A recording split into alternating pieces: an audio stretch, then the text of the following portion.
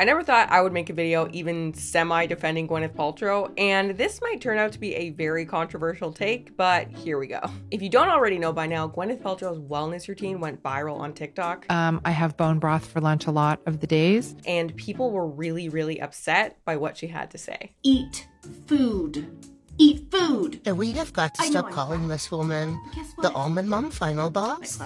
She is the to size the bad shit medical beliefs that Gwyneth has. Please don't do this. Just feed yourself. You deserve food. You deserve air. This isn't wellness, this is sickness. It should be illegal to put this out into the media. I wasn't planning on making a video on this, but then two of those people were Tess Holliday Because everyone is too afraid to be fat and Abbey Sharp. So many trigger warnings for what I'm about to say here, folks. And to me, their responses were just kind of so off the wall that I felt I had to say something. So in case you have not seen the clip yet, let's watch the Gwyneth Paltrow clip first. What's your wellness routine look like now? I eat dinner early in the evening. I do a nice intermittent fast. I usually eat something about 12. I, I have coffee, but I really like soup for lunch um, I have bone broth for lunch a lot of the days. For dinner, I try to eat, you know, according to paleo. So lots of vegetables. It's really important for me to support my detox. Now, if that is all Gwyneth Paltrow eats in a day, yeah, it's pretty bad. What would that be like? 300 calories?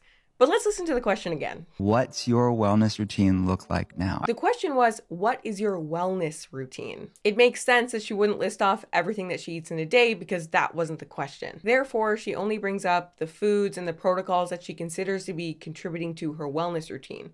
That's at least the way I took the question the first time that I heard this clip. But maybe I'm wrong because that is not the way the rest of the internet seems to have interpreted this clip. We're gonna start with dietitian and fellow YouTuber Abbey Sharp's reaction and then move on to Tess Holliday's. I did not think Gwyneth could get any more dangerous to the public, but then she posted this. Eat something about 12, have coffee, have bone broth for lunch. What I'm hearing is that she eats nothing for breakfast, just black coffee until noon. Okay, not eating until 12. Pretty standard intermittent fast here. Nothing too problematic so far, I thought. But for some reason, Abbey Sharp was like hardcore sneering the entire time she's playing this clip. She does not like Gwyneth Paltrow.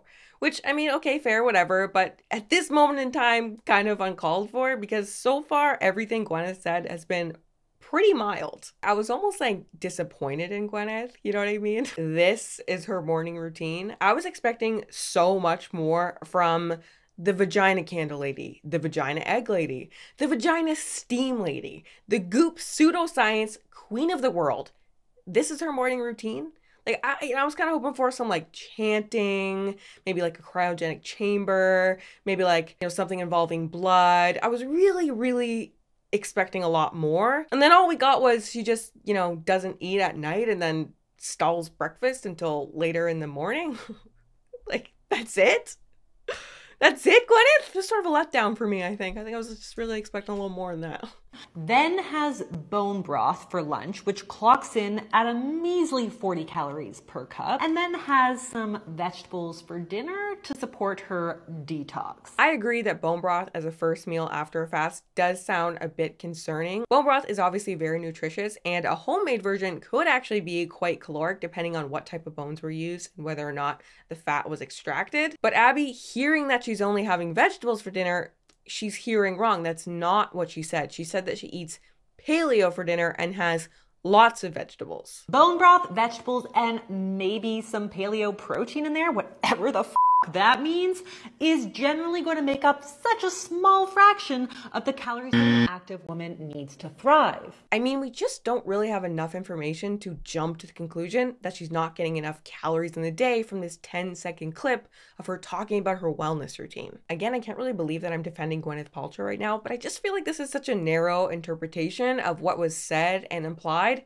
in this clip. Yes, if we take the clip at 100% face value with no nuance applied, then Gwyneth Paltrow was eating 300 calories a day, and that's really concerning and fucked up. And it's being implied that she has some form of disordered eating, right? And hey, Maybe she does, it would be plausible. Gwyneth Paltrow is an A-list female celebrity who was in her teens and 20s and the 90s and early 2000s, aka the absolute height of diet culture. A time when you literally could not be too skinny. And not only was skinny the epitome of beauty, but basically the only acceptable form of it. As I'm sure Gwyneth Paltrow knows, being that she starred in Shallow Hal. Gwyneth Paltrow also seems to have been pretty much the same weight her entire adult life.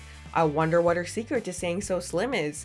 Maybe she's starving herself after all. Anyway, everything I just said was said to make a point. I'm speculating. I'm creating evidence out of nothing and I'm judging her primarily based on the way that her body looks and nothing else. Of course, it is totally possible that Gwyneth Paltrow has a messed up relationship with food and is a quote unquote almond mom. But a 10 second clip of her discussing her wellness routine and nothing else is not evidence. Maybe she's just a lady who's into health and wellness and doesn't like like junky processed foods that much. Maybe she doesn't get hungry in the morning we really don't know. And that wasn't very much information to really make any sort of judgment off of. Here's a post from Gwyneth Paltrow's Instagram from about a month ago. Sometimes it's a challenge to make grain free, dairy free, legume free paleo dinners. I get stuck, but Brad and I have felt so well eating this low inflammation way, with the occasional heavenly cheat meal, of course, and I keep challenging myself to find new ways to tailor food to this way of eating and the food she makes actually looks pretty freaking good. we got some like fish here with like a um, I don't know what they call when they put those herbs on top like that. And what is this? Like a full plate of avocados with looks like some sort of fish as well on top. Oh, it's crab. Crab avocado sashimi.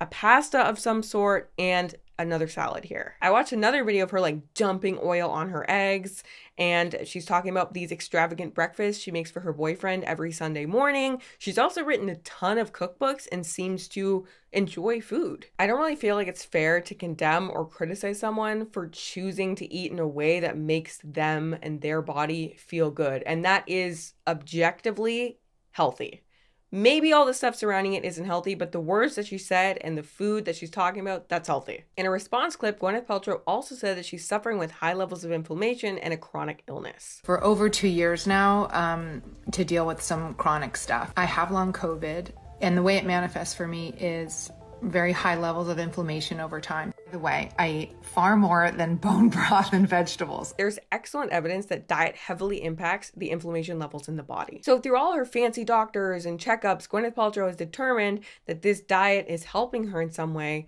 I just don't really feel like it's fair to criticize or condemn what she chooses to consume. And I think people are actually calling this health shaming now. But to recap, an 18 hour fasting window is often far too long for healthy females to help support normal reproductive function. Again, we don't really have enough information to make the claim that she's doing an 18 hour fast. We only know that she started eating at noon. Not to mention, is that a fair criticism of an 18 hour fast? There is definitely mixed data when it comes to women and intermittent fasting, but intermittent fasting on the whole has been shown to be so healthy for people that I guess I just don't really understand why a dietitian would denigrate the entire concept of intermittent fasting with an extremely condescending tone. Gwen's intermittent fast might be one of the most scientifically valid things she does all day, okay? I feel like we can let her have this one. Paleo is bullshit. Nobody needs to be eating like their ancestors. There's a reason why their lifespan was a fraction of ours today. So now paleo is just bullshit? It's not fair or accurate to call paleo bullshit when there's quite a few studies now proving that it's at least a healthy protocol of eating for people. Abbey has like 15 videos telling you what she orders at fast food restaurants, but now she's calling the entire concept of paleo bullshit. Like, I get it. These diets can become scammy, and a lot of times they're marketed as these miracle weight loss cures. But nutrition is confusing enough. Unless it's a dangerous way of eating, why just completely shit on it? Paleo is not for me, and I think for the average person, it's probably unnecessarily complicated and not necessarily in a weight loss way. I experimented with keto a few years ago, and though keto is definitely not for me and I don't want to do it again, I learned so much about my body and sugar and carbs by just not eating them for a period of time. And now I eat carbs, but I know how they feel. I know how it feels to have too many of them. And I find that information invaluable for me and my health journey. If it works for someone, they feel good, they like it, it's helping them, it's verifiably nutritious, I'm just not quite sure why I would be so, so dismissive of it. For the love of all that is holy, you do not need to detox. Okay, I agree with her here. also, what exactly do we expect Gwyneth Paltrow's diet to look like? Did we expect her to start a day with like a taquito and a big gulp from 7 Eleven? To create Goop, right? To sell insane wellness products at insane price points, I would sort of hope that Gwyneth would at least like be into wellness. You know what I mean? Like, would it not be more messed up if she did not do all this wellnessy stuff to start her day? I don't want to pull the lady card here, but it does feel like we pay so much more attention to women's health decisions, while the male side of wellness culture is kind of just free to do as they please. I think they like to call male wellness culture biohacking. Like that's what that's what they call it on the boys' side. And I'm not judging it, okay? I'm into it. I think it's so fun, and why would I not want to make little tweaks to my lifestyle and try little things here and there so that I can be healthier and like biohacked. But things do get pretty extreme over there sometimes. And yet, nobody gives a fuck. I remember reading a Tim Ferriss book when I was like 13, and the guy says he does like, what was it? A three day fast once per month and a five to seven day fast once per quarter. No one cares. I don't assume that he has food issues. I actually don't even think I know what the guy's body looks like. I barely know what he looks like. Ironically, Gwyneth Paltrow's ex, Coldplay frontman Chris Martin, also came out and says he only eats one meal per day, once at four o'clock, that's it. And guess what? Nobody cares. We're all like, cool, nice discipline, bro. And I'm not by any means saying at all that we should start judging guys more for their biohacking routines.